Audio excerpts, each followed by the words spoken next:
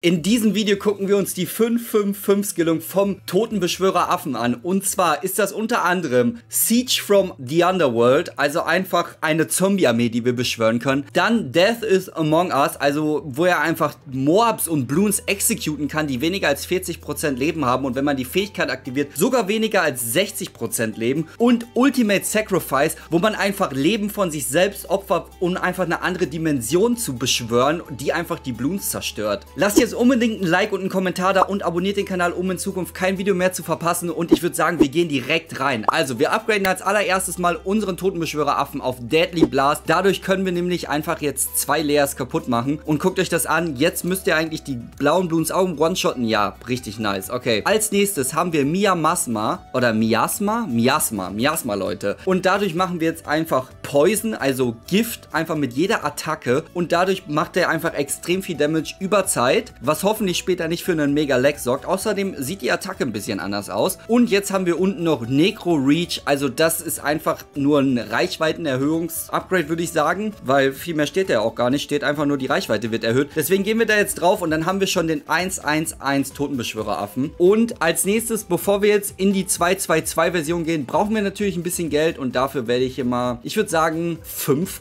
Cash Drops abwerfen und wir werden uns eine 420 Farm, würde ich sagen, kaufen. Beziehungsweise brauchen wir ja gar nicht. Wir brauchen den hier gar nicht. Ich habe ja Ultimate Crosspathing an. Das bedeutet, wir können einfach hier einen Supermarktplatz bauen. Und zwar einen 333er. Der sieht jetzt aus wie eine Bank. Der müsste aber jede Runde richtig... Wie ist das eigentlich? Wie viel Geld macht der die Runde? Okay, der macht jetzt schon pro Runde 700. Okay, das ist komplett krank. Okay, ist komplett busted, Leute. Das ist wirklich overpowered. Wer natürlich auch nicht fehlen darf, ist George. George packe ich mal... Irgendwer hatte letztens gesagt, mach mal Eis und pack George übers Wasser. Und das mache ich jetzt auch. Allerdings packe ich George diesmal nicht übers Wasser, sondern... Ey, man kann den nicht auf den Kochtopf hier packen. Ich dachte, es funktioniert. Nee, funktioniert nicht. Okay, dann packen wir ihn hier übers Wasser. Ich weiß nicht mehr wer. Irgendwer wollte unbedingt, dass ich den ins Wasser packe, beziehungsweise das Wasser einfriere und ihn dann ins Wasser packe. Und das machen wir jetzt einfach mal kurz kurz. Also jemand aus meinen Kommentaren, der das wollte, hier. George, Eis, Wasser, zufrieden. So, ich würde sagen, wir schicken mal zwei, drei Runden raus, dass wir ein bisschen Geld kriegen. Und als nächstes gehen wir wieder in die Upgrades rein. Also wir haben ja einmal Ethereal. Also dadurch kann er, ich hoffe, ich spreche das alles, ich spreche das eher alles falsch aus, aber ihr kennt es, Mann. Als deutscher, englischer Aussprache ist sowieso immer Vollkatastrophe. Dadurch kann er auf jeden Fall jetzt alle Arten von Bloons angreifen. Das schon mal sehr wichtig ist, weil in Runde 24 kommt der erste Unsichtbare und in Runde 28 der erste Bleibloon. Das machen wir jetzt schon mal. Jetzt haben wir Dual Casting. Das macht einfach, dass er ein Random Target extra angreift. Also wir gucken uns jetzt mal kurz den Attack an.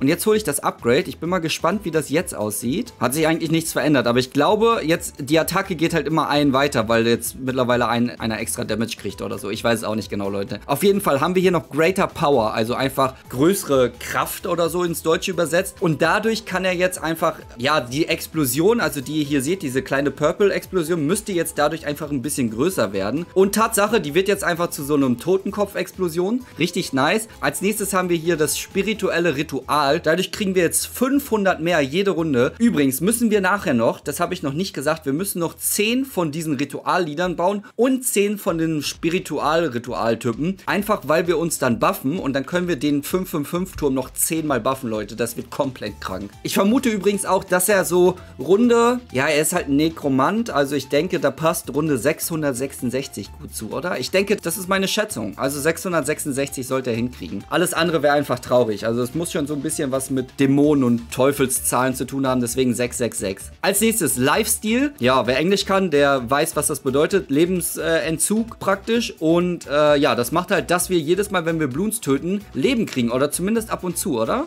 Ja, da haben wir gerade Leben bekommen. Ihr habt es gesehen. Wir sind jetzt bei 163. Wir müssten jetzt gleich nochmal Leben kriegen. 164. Ab und zu steht dann hier einfach Execute. Und dann kriegen wir jedes Mal Leben. Passt auf. Da, plus zwei Lifestyle. Okay, nice. So, und als letztes haben wir Race Undead. Dadurch können wir, wer die Videos vorher schon gesehen hat, weiß, was jetzt passiert. Dadurch können wir jetzt einfach Quincy's Vorfahren beschwören. Ich glaube, das waren genau drei, ja, da steht sogar drei Stück. Und das Upgrade kostet 10.000. Das heißt, wir müssen mal kurz hier ein paar Runden vorschicken. Wir kriegen jetzt auch jede Runde Geld. Also ihr seht, durch den äh, Ritualleader hier kriegen wir jede Runde 500. Ist ganz nice, beziehungsweise 550 komischerweise sogar, obwohl wir noch keinen Buff haben. Und jetzt holen wir Race Undead. Da sind jetzt die drei Vorfahren von Quincy. Die schießen, glaube ich, so Knochenpfeile oder oder so. Müssen wir mal genau hingucken, aber ich meine, ja, die schießen Knochenpfeile und diese Knochenpfeile, können, explodieren die? Ne, ich glaube, die Explosion ist dann doch von ihm. Ich bin mal gespannt, wie weit der 333 Totenbeschwörer kommen wird. Also ich vermute, der kommt jetzt schon bis Runde 60, weil der ist ja alles noch am One-Shotten. Also diese 555-Türme sind ja sowieso immer komplett broken. Deswegen, also ich denke, der wird das easy hinkriegen. Und ja, selbst der Moab gar keine Chance. Ich schicke mal Runde 60 raus. Ich grade hier mal noch kurz ab zu BRF. Okay, ey, wir machen ultra viel Geld gerade. Und jetzt Runde 60 rausknallen und ich denke, das wird kein Problem. Das sollte der eigentlich wegstecken. Ich schicke jetzt sogar noch Runde 63 hinterher, dass hier ein BFB plus Runde 63 ist und selbst Runde 63 plus BFB kriegt er hin. Komplett broken. Okay, also wir gehen weiter. Das nächste Upgrade, die nächste Upgrade-Reihe kostet über 70.000 zusammen. Also als erstes unten auf Rituallieder. Dadurch kriegt er 10% mehr Attack-Speed und wie ich eben schon gesagt habe, nice, wir haben das Level geschafft. So, wir gehen ins Freeplay. Wie ich eben schon gesagt habe, er kriegt 10% mehr Attack-Speed und das Ganze ist 10 mal stackbar. Also genau wie unten vom Poplas-Druiden, nur da ist es 5 mal stackbar. Und ähm, ja, der wird auf jeden Fall jetzt richtig stark, weil er kriegt ultra die Range. Guckt euch die Range an, er kann hier oben schon angreifen angreifen teilweise. Also er kann sogar beim Start angreifen. Das ist ja richtig krass. Soweit hätte ich nicht gedacht, dass er da angreifen kann. Oh, die Quincy's, die Quincy's können auch bis nach da oben angreifen. Das ist richtig crazy. Okay, dann Fatal Fate, also das fatale Schicksal. Ja, das kann halt executen, wenn ich die Ability use. Executed er, glaube bis zu 5 direkt und ab und zu executed er Bloons, die unter 20% Leben haben. Also wenn ein Moab zum Beispiel unter 20% Leben hat, kann er den One-Shotten. Das steht auch manchmal. Execute, das sieht man jetzt hier nicht so gut, weil es direkt oben am Anfang des Bildschirms ist und rausbackt. Das sehen wir gleich ein bisschen besser. Und Empowered Undead, also wir verstärken einfach die Untoten und rufen dadurch noch drei weitere ja, Zombies von Plants vs. Zombies, beziehungsweise hier in unserem Fall sind es Swordard-Zombies und die haben sogar eine Range, dass sie bis zum Anfang angreifen können. Auch komplett krank. Ich mache mal einmal hier die Fähigkeit. Okay, passiert nicht wirklich was. Ich glaube, jetzt können wir auch schon bis Runde 100 schicken, mindestens, weil die 444-Version sollte eigentlich Runde 100 easy hinkriegen, weil guckt euch das an. Die macht ultra viel Damage, die kann überall attacken, also es ist komplett crazy. Ja, guckt euch an, wie viel Damage der BAD kriegt. Das ist halt wieder gottlos. Das ist wieder, ist wieder so ein gottloser Turm. Ist das krank. Und executed. Oh mein Gott, das ist einfach zu heftig. Wie die alle executed werden, das ist so krass. Okay, wir gucken Runde 119. Kriegt der drei BRDs hin, der 444 Nekromant? Ich glaube nämlich, das könnte er hinkriegen. Übrigens nochmal großes Dankeschön an Bergbauer. Der hat sich den Mod nämlich runtergeladen, weil man konnte ja die 555-Version vorher nicht machen. Hat die dann geändert, damit jetzt die 555-Version geht. Also nochmal vielen Dank, Bergbauer, falls du das siehst. Ne? Danke dir, dass du das für mich gemacht hast. Ehrenmann. So, kriegt er die drei BRDs hin. Also, er executet hier auf jeden Fall irgendwas, aber nicht den BRD, sondern das, was da drunter ist. Es ist schon sehr es ist sehr heftig, glaube ich, für ihn gerade. Die Sawdust, die sticken jetzt schon drauf. Die hitten also die ganze Zeit den BRD. Ist, glaube ich, schon... Oh, ich kann die Fähigkeit nutzen, damit ich die alle execute. Dadurch habe ich jetzt 20% Damage an allen gemacht. Oh mein Gott, das wird, das wird richtig knapp. Das wird richtig knapp. Ich glaube, wenn ich die Fähigkeit nochmal kriege, sollte ich es haben. Okay, nice. Den haben wir geexecuted. Die werden auch alle geexecuted. So, jetzt einmal noch die Fähigkeit. Wobei, ich verwarme die für 140. Ich glaube, wir schaffen es. Komm schon, komm schon. Und ja, das sollte durch sein, oder? Ja, das durch. Okay, das haben wir geschafft. Schaffen wir Runde 140. Schaffen wir einen gepanzerten BAD mit dem 444-Turm. DDTs sind ein großes Problem, sehe ich gerade. Die sind ein bisschen schnell. Dafür haben wir noch nicht genug Damage. Und da kommt der BAD. Wir haben dem noch nicht wirklich viel Damage gemacht. Was passiert bitte gerade mit dem BAD? Oh mein Gott, Leute, was ist da für ein, für, ein, für ein Dot auf ihm drauf? Guckt euch das an. Das ist wie von Isili, nur dass da Totenköpfe um ihn herum tanzen. Wir haben einfach eine neue Fähigkeit unlockt. Was zur Hölle? Wir haben einfach eine neue Fähigkeit unlockt durch die 555-Version. Das war vorher noch nie so. Das ist ja komplett krank. Ich mache jetzt Executed. Jetzt ist die Fähigkeit weg.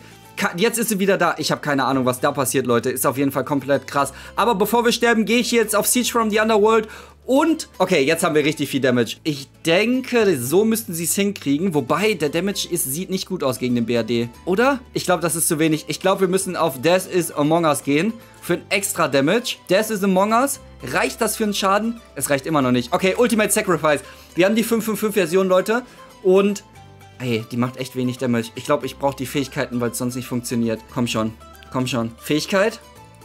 Okay, alles wird super executed. Habt ihr es gesehen? Oh mein Gott, das war richtig crazy. Und okay, wir haben es geschafft. Und jetzt, meine Damen und Herren, müssen wir erstmal, erstmal buffe ich ihn jetzt mit einem Affendorf. Ist ja klar, also so ein kleiner Affendorf-Buff, der darf natürlich nicht fehlen. So, ich mache sogar MIB, damit er alles angreifen kann. Kann er ja sowieso, aber ich weiß nicht, manchmal buggt das ja. Und jetzt bauen wir 10 Stück. So, das sind jetzt seine Jünger bzw. seine Anhänger. Und die werde ich jetzt nur unten rein skillen. So, jetzt kriegt er hier den Buff, ihr seht. Nee, Jetzt, okay, ich muss die auf 4 upgraden. So, wir graden die alle auf 4 ab. Die werden zwar jetzt auch ein bisschen Damage machen, aber der eigentliche Sinn ist ja, dass L gebufft ist. Darum geht es ja eigentlich. Oh, wir haben gar nicht genug Geld. Oh, da muss ich mal kurz warten. So, jetzt haben wir genug Geld. Zack, zack, zack.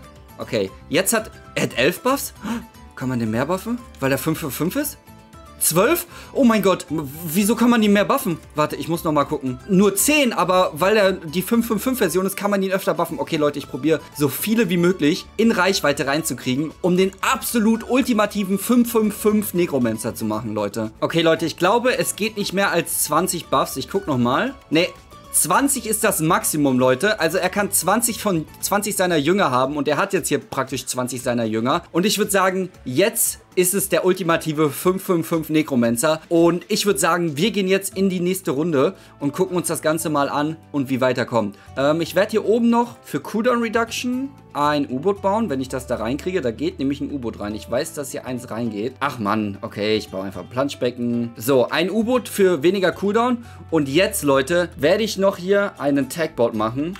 Den Tagboard werde ich drauf machen und jetzt ist es, das ist wirklich der Gott. Das ist der Gott der Untoten. Leute, ich schicke jetzt, wo ist George? Da. Ich schicke jetzt Runde 300. Let's go. Runde 300, Leute. Wir haben gerade keine Fähigkeiten.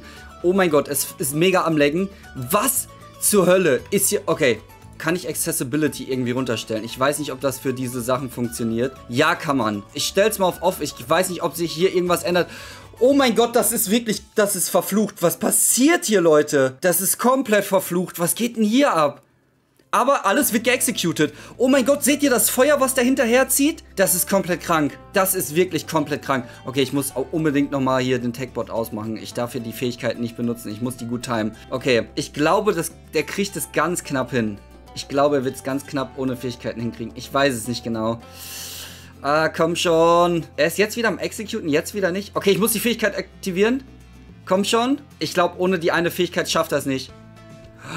Oh mein Gott, er hat es ganz knapp am Ende geschafft und jetzt fängt es wieder an zu laggen. Er hat die Fähigkeit aktiviert. Okay, er hat es geschafft. Er hat Runde 300 geschafft. Leute, ich probiere jetzt noch Runde 666, aber ich weiß nicht, ob das funktioniert. Ich werde mal hier Autostart off machen. Ich bin jetzt nochmal sicherheitshalber, das ist noch ein äh, BRD aus Runde 300, aber ich bin jetzt mal in Runde 3 gesprungen und äh, ich warte jetzt, bis alle Fähigkeiten ready sind und probiere dann Runde 666 zu machen. Okay, Leute, es ist soweit. Runde 666. Auf die Plätze.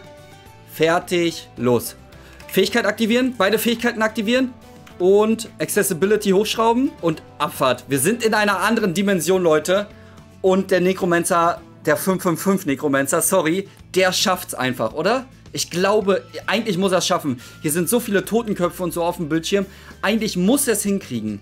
Komm schon, bitte. Runde 666. Komm, dann wäre das, das wäre perfektes Ende fürs Video. Oh, es ist, äh, leider ist der Turm sehr am Laggen, muss ich sagen. Aber das liegt halt, ist normal bei 555 Version. Da executet er wieder ein paar Türme, äh, ein paar Bloons, okay, nice. Teilweise executet der halt 30, 40 Mal hintereinander und macht dann jedes Mal 60% Schaden. Das ist halt komplett krank. Ich glaube, sein Auto-Attack an sich ist gar nicht so stark. Aber Leute, mein PC ist hier auf jeden Fall total am Kämpfen. Ich würde sagen, wir einigen uns drauf, dass er es schafft, aber dass er einfach ewig ewig braucht, weil mein PC abschmiert gerade. Und ich würde sagen, das soll es gewesen sein. Falls euch das Video gefallen hat, lasst gerne ein Like und ein Abo da. Und wir sehen uns morgen für noch mehr Bloons-Content. Haut da rein und ciao.